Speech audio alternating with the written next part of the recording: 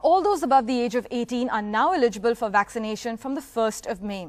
Now they can register for their shot from Saturday, the 24th of April on the CoWIN platform.